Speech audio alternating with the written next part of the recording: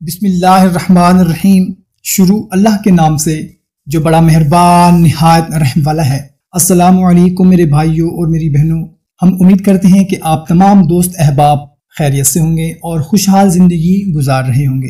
दोस्तों, हर बंदे की कुछ ना कुछ ख्वाहिशात होती हैं, कुछ मुरादें होती हैं, कुछ हाजात होती हैं, जो कि पूरी नहीं हो पा रही होती। उनके लिए बंदा बहुत ज़्यादा परेशान होता है। वो चाहता है कि मेरी ये ख्वाहिश पूरी हो जाए, मेरी हाजत, मेरी ये मुराद पूरी हो जाए। तो आज मैं आप लोगों को एक बहुत ही आजमूदा अमल जो कि बारहा आजमाया हुआ है और जिस जिसको भी बतलाया है, उसने इसकी अफादियत का सात रोज के अंदर अंदर खुली आँखों से मुशाहिदा किया है। तो बहुत ही मुख्तसर सा अमल आप लोगों को बताने लगा हूँ और बहुत ही आसान सा अमल है।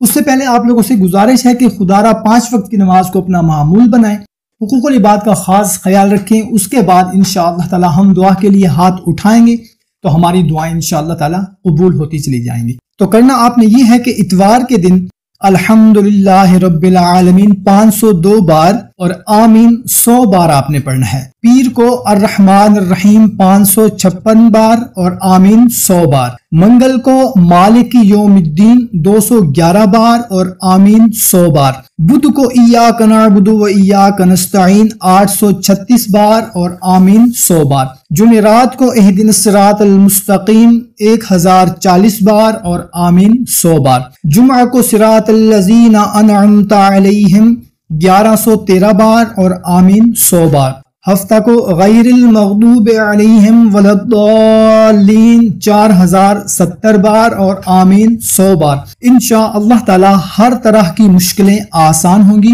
और मुरादें पूरी होंगी। कोशिश किया करें कि जो भी बात आपको अच्छी लगती हो, अपने दूसरे दोस्तों और रिश्तेदारों तक लाजमी सदका जारी समझ कर शेयर किया करें। हमें तो इजाज़त, मिलते हैं एक नई वीडियो में। अपना ख्याल रखिएगा। अल्लाह हाफिज़।